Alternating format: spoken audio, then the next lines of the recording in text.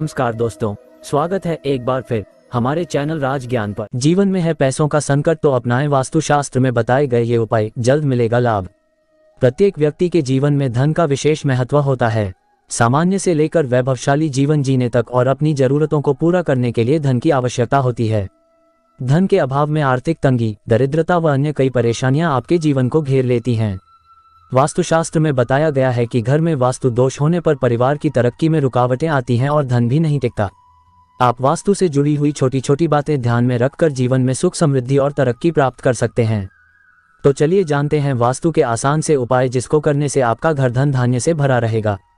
एक, वास्तुशास्त्र के अनुसार घर की पूर्व या उत्तर दिशा में तुलसी का पौधा अवश्य लगाना चाहिए।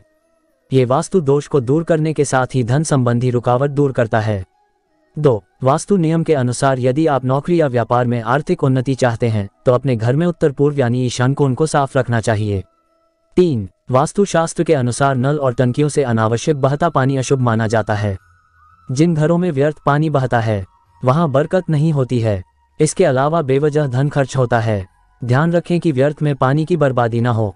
चार, अपने घर के दरवाजे और खिड़कियों को हमेशा साफ़ रखें क्योंकि घर में आने वाला धन का इससे सीधा संबंध होता है। आगे बढ़ने से पहले आपसे रिक्वेस्ट करते हैं। वीडियो अच्छा लगे तो लाइक एवं दोस्तों को शेयर ज़रूर कर दीजिए। और आपने अभी तक चैनल को सब्सक्राइब नहीं किया है तो चैनल को सब्सक्राइब करके बेल आइकन ज़रूर दबाए। अब आगे बढ़ते हैं। पाँच, घर में पूजा स्थान का बहुत ध्यान रखना चाहिए। यदि आपके घर में दक्षिण दीवार पर मंदिर बना हुआ है तो ऐसे में आपको धन से संबंधित भयंकर परेशानियों का सामना करना पड़ सकता है। घर में पूजा स्थान हमेशा ईशान कोण यानी उत्तर पूर्व में ही बनाएँ। डिस्क्लेमर इस लेख में दी गई जानकारी सामग्री, गणना की प्रामाणिकता या विश्वसनीयता की गारंटी नहीं है।